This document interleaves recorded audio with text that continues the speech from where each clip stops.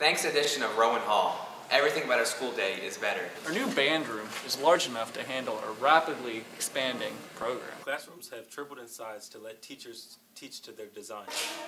Our primary kids have new interactive spaces to learn, play, and grow.